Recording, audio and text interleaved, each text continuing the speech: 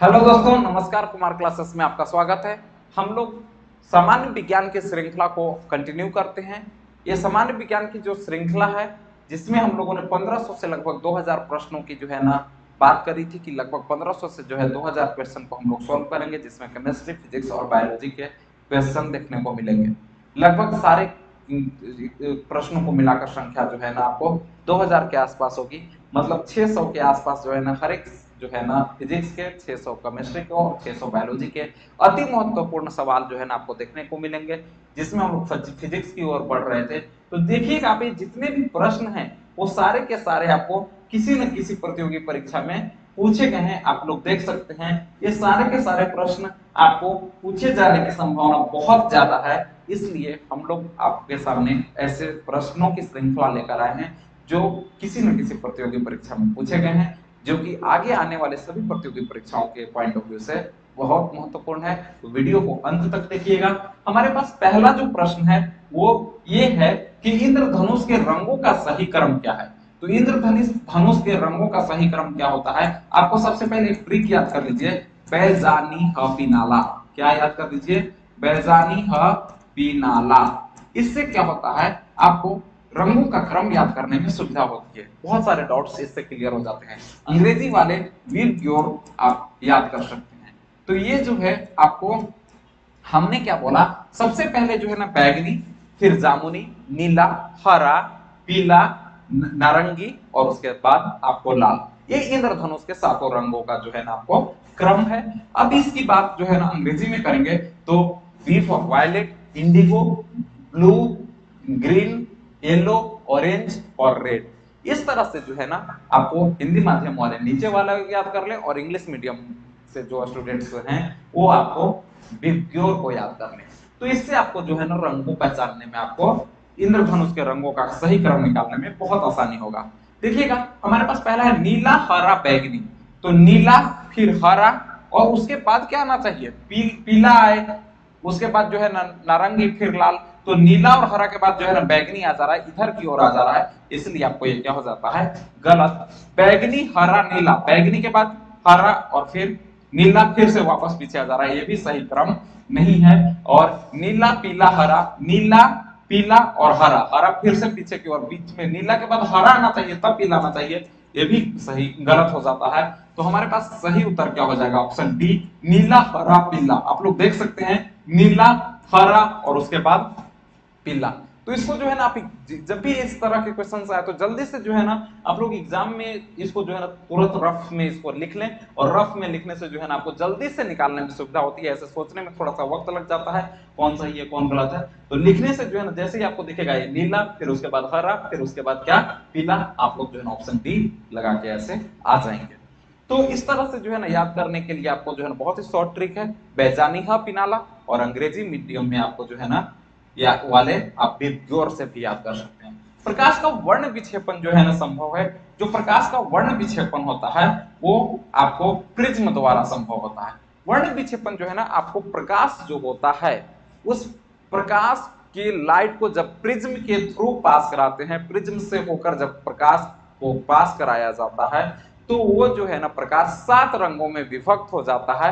इसी घटना को हम लोग वर्ण विक्षेपण के नाम से जानते हैं, प्रकाश का वर्ण विक्षेपण कहते हैं। तो ये जो प्रकाश का वर्ण विक्षेपण जो है ना, किसके द्वारा संभव है? प्रिज्म के द्वारा। बचपन में आप लोगों ने एक्सपेरिमेंट किया भी होगा तो आपको हमारे पास जो है ना, प्रकाश का वर्ण विक्षेपण जो है ना, प्रिज्म के द्वारा संभव है। जब प्रकाश की लाइट को प्रिज्म के थ्रू पास कराया जाता है तो वो लाइट आपको सात रंगों में विभक्त हो जाती है, और वो सातों लाइट को हम लोगों ने आपके सामने दिखाया। इंद्रधनुष के दोनों सीमांत वर्ण पर, सीमांत मतलब सीमा के अंत में मतलब एक मतलब शुरू और अंत में जो दोनों छोर पे आपको लाइट का जो दो इंद्रधनुष के दोनों जो वर्णपट होते हैं, वो क्या होते हैं? तो हमने अभी देखा बेजानी पिनाला। ये सब क्वेश्चन का जो है ना, आपको इसको बोलते हैं रामबाण, ठीक है ना? ये सब जो है ना, पिनाला। सभी क्वेश्चन का जो है ना, जैसे जो है ना अंग्रेज़ी में इसको मतलब जो है ना पेनेसिया बोलते हैं। आपको सभी रोगों का इलाज है रामबाण। ये बे, बेजा सबसे जो है ना सबसे सीमान तो ये बेजानी का पिनाल आपको याद है तो सबसे पहला कलर क्या? बैगनी और सबसे लास्ट वाला कलर क्या आपको? लाल। तो बैगनी और लाल ऑप्शन बी में दिखता है। दोनों सीमा अंत मतलब एक छोर पे जो है ना आपको बैगनी और दूसरे छोर पे क्या होगा आपको? कौन सा वर्णपट दिखने को मिलेगा आपको? लाल कलर का वर्णपट दिखने को मिलेगा। लाल कलर का स्पेक्ट्रम दिखने को मिलेगा। तो इसे हम लोग इंद्रधनुष के दोनों सीमांत वर्णपट कौन सा होता है? बैगनी होता है और लाल होता है। आगे की ओर कंटिन्यू करते हैं। दोपहर के 12 बजे किस दिशा में इंद्रधनुष दिखाई देगा? अरे, इंद्रधनुष हमेशा सूर्य के विपरीत दिशा में दिखाई देता है। सूर्य के विपरीत दिशा में जब सूर्य पूर्व में होता है तो आपको जो इंद्रधनुष है वो पश्चिम में दिखाई देगा, और जब पश्चिम में सूर्य होगा तो आपको जो है ना इंद्रधनुष पूर्व में दिखाई देगा। हमारे पास है बारह बजे तो 12 बजे जो है ना, आपको सूर्य जो है ना हमारे सिर के सीधा ऊपर होता है सूर्य जो है ना आपको सूर्य हमारे सिर के सीधा ऊपर होता है, इसलिए आपको इंद्रधनुष आपको 12 बजे दोपहर के दिखाई देगा ही नहीं। दोपहर 12 बजे सूर्य, जो है ना आपको, हमारे सिर के सीधा ऊपर होता है, इसलिए आपको इंद्रधनुष नहीं दिखाई देगा, क्योंकि आपको जो इंद्रधनुष है, वो सूर्य के विपरीत दिशा में दिखाई देता है। ठीक है? जब सूर्य जो है ना पूर्व की ओर होगा मतलब सुबह के समय जो है ना आपको पश्चिम की ओर दिखाई देगा, और दोपहर के बाद मतलब जो है ना शाम के समय आपको जो है ना सूर्य पूर्व की ओर दिखाई देगा, क्योंकि इंद्रधनुष सूर्य के विपरीत दिशा में दिखाई देता है। हमारे पास जल में वायु का बुलबुला जिसकी भांति व्यवहार करेगा, वह क्या है आपको? जल में वायु का बुलबुला जिसकी भांति व्यवहार करेगा वो आपको अवतल लेंस है। अवतल लेंस जो है ना, जल में जो वायु का बुलबुला होगा, किसमें? जल में जो वायु का बुलबुला होगा, वो आपको अवतल लेंस की तरह बिहेव करेगा। जल में जो वायु का बुलबुला होगा, वो आपको किसके तरह बिहेव करेगा? अवतल लेंस की तरह बिहेव करता है। ठीक है? वायु का बुलबुला जो जल में होगा, वो अवतल लेंस की तरह बिहेव करता है। हमारे पास अगला क्वेश्चन है, जल के अंदर वायु का बुलबुला व्यवहार करता है, फिर से सेम क्वेश्चन अवतल लेंस को ही अपसारी लेंस के नाम से जाना जाता है। अवतल लेंस को ही हम लोग, जिसको अंग्रेज़ी में कॉनकेव मिरर कॉनकेव लेंस कहा जाता है कॉनकेव लेंस वो जो है ना आपको, उसको अपसारी लेंस भी कहा जाता है, ठीक है? और अभिसारी लेंस किसको उत्तर लेंस को अभिसारी लेंस कहा जाता है। उत्तर लेंस को किस नाम से बोला जाता है? अभिसारी लेंस के नाम से जाना जाता है। ठीक है? क्योंकि ये जो है ना, आपको ये सारी जो आपको जो प्रकाश की किरणें जो हैं, आपको इस लेंस के थ्रू जैसे ही पास कराया जाता है तो क्या हो जाती है आपको? ये आपको कन्वर्ज हो जाती है। एक जगह जो है ना आपको अभिसारी और अपसारी। ये आपको ये एक जगह जो है ना, जब सूर्य की किरणों को जो है ना पास कराया जाता है, इस लेंस से तो आपको एक जगह जो है ना ये किरणें क्या हो जाती हैं? अभिसरित हो जाती हैं कन्वर्ज हो जाती हैं, इसलिए इसको कन्वर्जिंग लेंस कहा जाता है, अभिसारी लेंस कहा जाता है, और जो अवतल लेंस होता है, उसको डाइवर्जिंग लेंस कहा जाता है। क्या कहा जाता है? डाइवर्जिंग लेंस और डाइवर्जिंग लेंस मतलब आपको हिंदी में इसको अपसारी बोलते हैं, अपसारी।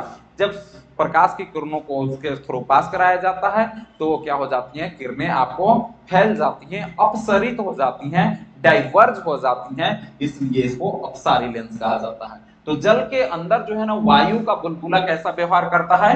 अपसारी लेंस जैसा व्यवहार करता है जल के अंदर वायु का बुलबुला औपसारी कह लीजिए, अवतल कह लीजिए, या कॉन्वेक्स लेंस कह लीजिए, तीनों आपको सेम बात है, या डाइवर्जिंग लेंस भी कह सकते हैं। ठीक है। अब हमारे पास जो है, अगला प्रश्न है। किसी व्यक्ति का पूरा प्रतिबिंब देखने के लिए आपको समतल दर्पण की न्यूनतम ऊंचाई होनी चाहिए। तो आपको अगर मान लो कि ये समतल दर्पण है आपके सामने ठीक है? तो उस समतल दर्पण में जो है ना, हमारा पूरा इमेज देखना है, आपको आपका पूरा इमेज देखना है। तो समतल दर्पण का जो आपको ऊंचाई होना चाहिए, वो समतल दर्पण व्यक्ति के ऊंचाई का आधा होना चाहिए। कम से कम कितना होना चाहिए आपको? आधा होना चाहिए। कम से कम तभी आपका पूरा इमेज दिखेगा। अगर मान लीजिए कि आप पाँच फुट के हैं, कितने हैं? पाँच फीट के हैं तो आपको जो है ना सिंपल सी बात है, समतल आपको पूरा इमेज आपका, पूरा का पूरा इमेज दिखना है तो समतल दर्पण कितना फुट का होना चाहिए? ढाई फुट का होना चाहिए। अगर आप छह फुट के हैं तो आपको जो है ना, समतल दर्पण की जो है ना, आपको ऊंचाई कम से कम कितनी होनी चाहिए?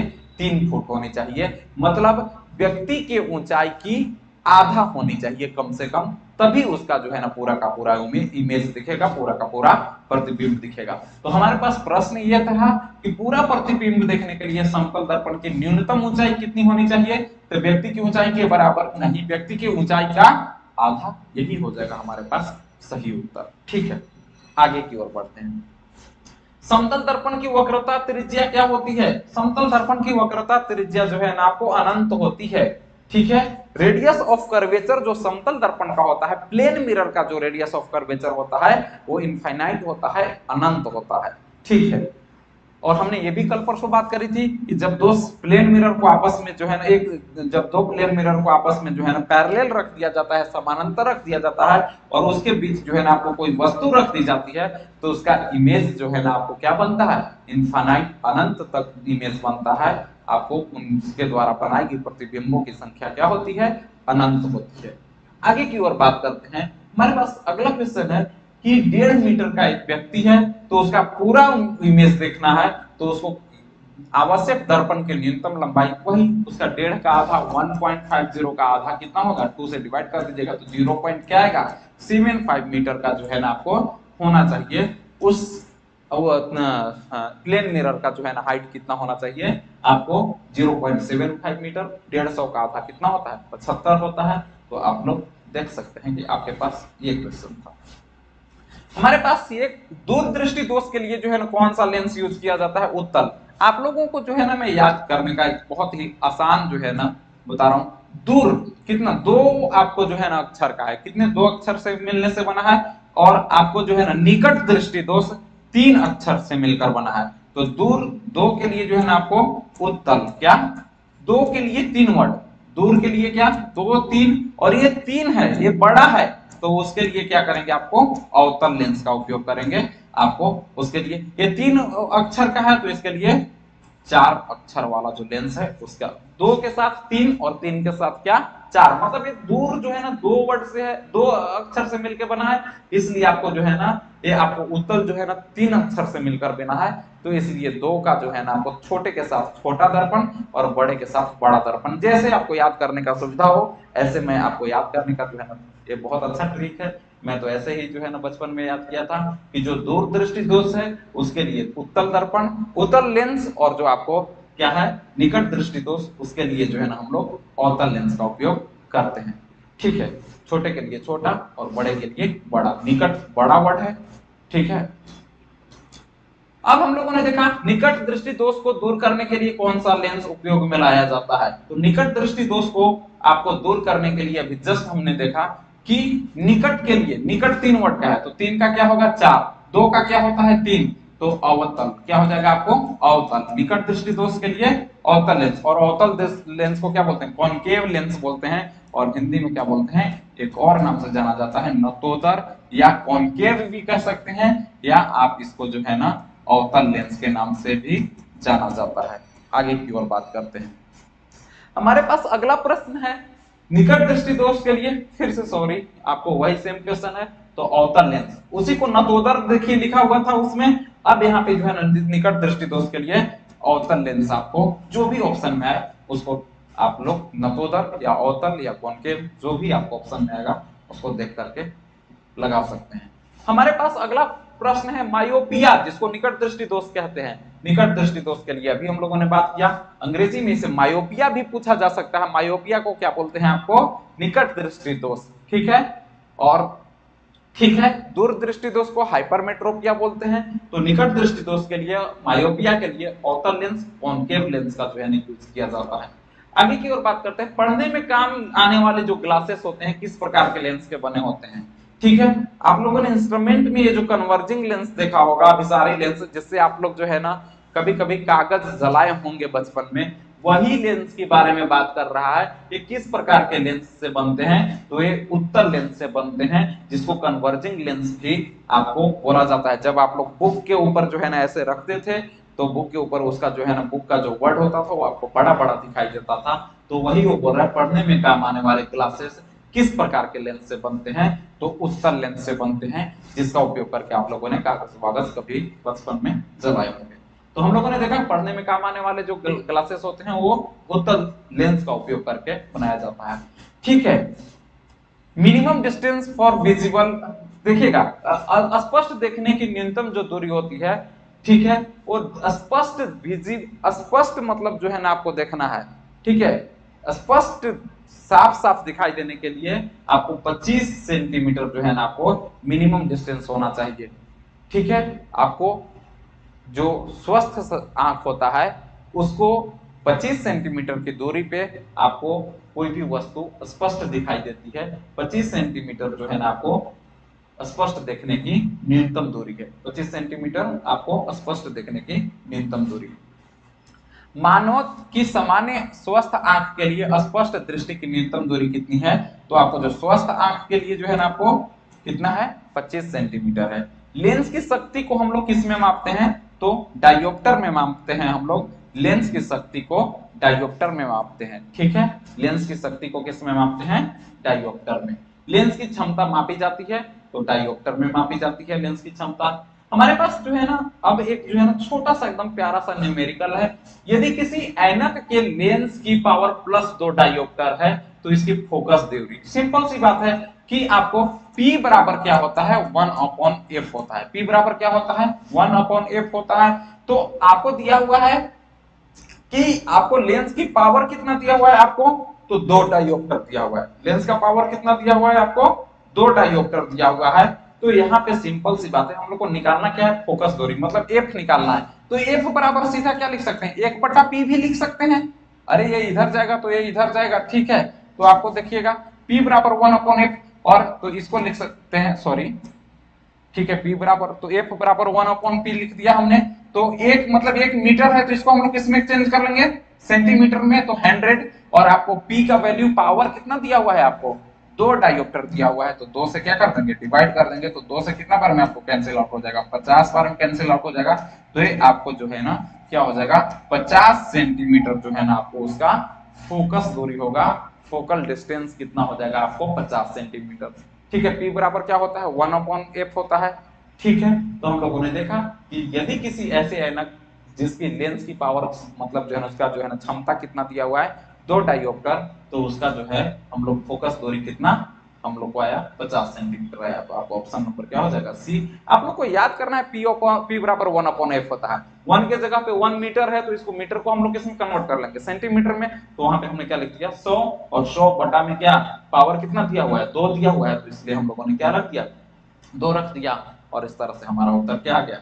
पचास सेंटीमीटर आ गया। हमारे पास अगला प्रश्न है धूप के चश्मे की पावर होती है। जो धूप का चश्मा होता है, उसकी पावर आपको ज़ीरो डायोप्टर होती है। ठीक है? जो धूप के चश्मे होती है, उसका जो है ना पावर शून्य होता है। उसमें कोई पावर का इस्तेमाल नहीं होता है।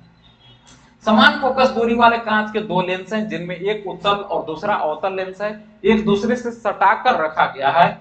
आपको इस युग्म का व्यवहार क्या होगा? देखो, आपने जो है ना समान, दोनों का जो है ना आपको फोकस दूरी क्या रखा आपने?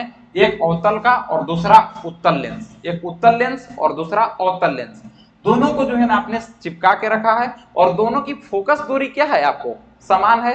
तो आपको एक का क्या होगा? आपको धनात्मक होगा और तो दूसरी का क्या हो जाएगा? आपको ऋणात्मक हो जाएगा। एक का फोकस दूरी क्या होगा? धनात्मक और दूसरे का फोकस दूरी क्या होगा? ऋणात्मक होगा, जिसके कारण दोनों का जो फोकस दूरी हो जाएगा, वो आपको समतल जो है ना दर्पण की तरह बिहेव करने लगेगा। समतल जो है ना आपको दर्पण की तरह आपको वो बिहेव करने लगेगा।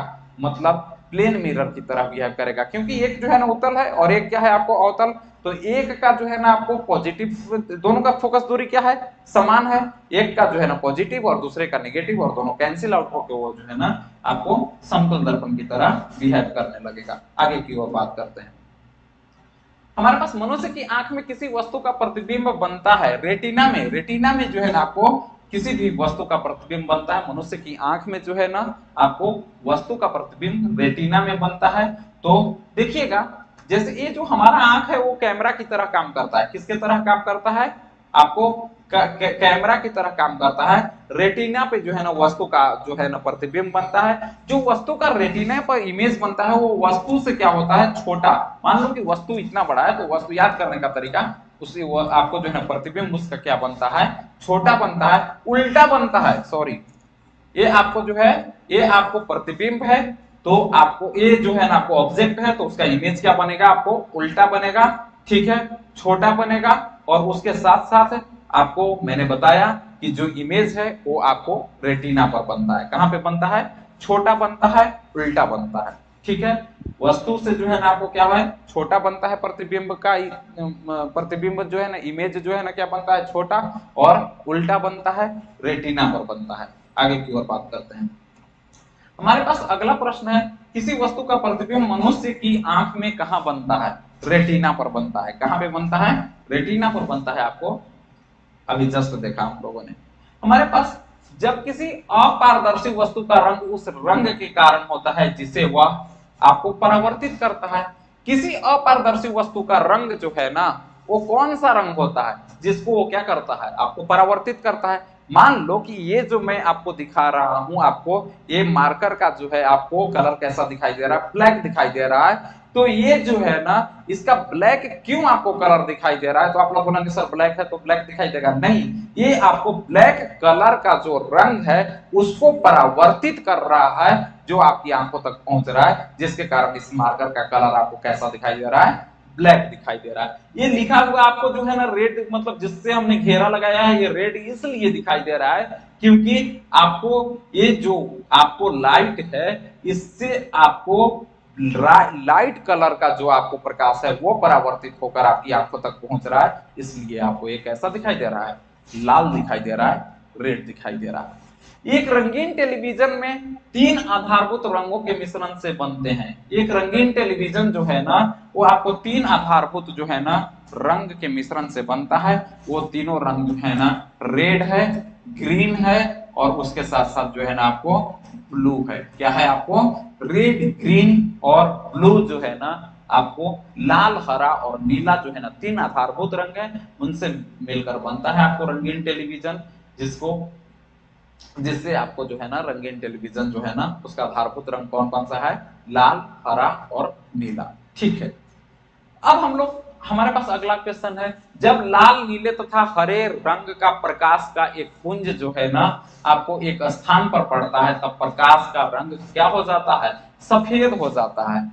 जब लाल, नीला और हरा प्रकाश का जो पुंज है वो एक स्थान पर पड़ता है, ना लाल, नीला और हरा जो प्रकाश का पुंज है, वो आपको जब एक स्थान पे पड़ता है तो प्रकाश का रंग कैसा हो जाता है? सफ़ेद हो जाता है। ठीक है? ये जो है ना, लाल, हरा और नीला, जिसको हम लोग प्राथमिक रंग के नाम से भी प्राइमरी कलर बोलते हैं। क्या बोलते हैं? लाल, हरा और नीला, ये आपको प्राथमिक रंग है, इसको प्राइमरी कलर भी कहा जाता है। ठीक है?